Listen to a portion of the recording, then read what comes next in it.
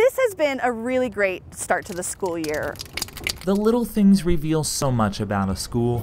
And we've really thought about what we want to do for our kids and our community to build a, a strong school. For Eagleton Elementary School Principal Lee Rains Thomas, the little things hope are quite literally big. All the art that just in general gives our community hope and inspiration.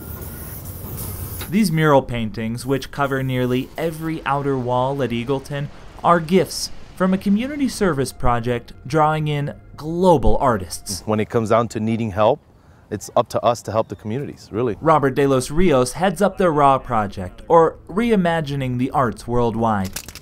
It brings in mural artists from all over the world to a city, Denver, simply to share. When they saw it was for a school, permanent art for children and generations that have come through here, they can't pass it up. They want to do good with their work. They want their work to help and that's why they're just on board.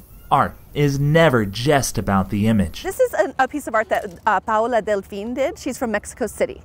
Um, and my school has a lot of people who are from Mexico, speak Spanish, um, and she really related to the kids. And so those relationships bred representation. Just the other day, a student asked me, who is it? Who is that girl? What, what's her name? And I said, oh, well, she's all of us. And I explained that it's the hands of one child, it's the nose of another, it's the lips of someone else. So it really is all of us. And I think the kids were just, they're, they're, in awe of that. We feel that the public school system in this country sometimes, certain areas, certain schools lack the options that they're, they're deserved, which is arts, music, sports. Not that this school or the DPS system isn't doing their part, we think you guys can only do so much. It's the little things. This is their art. That make the biggest impression. I hope they're feeling a deep sense of pride in their school. Hope you have us back again. And I hope we made you proud.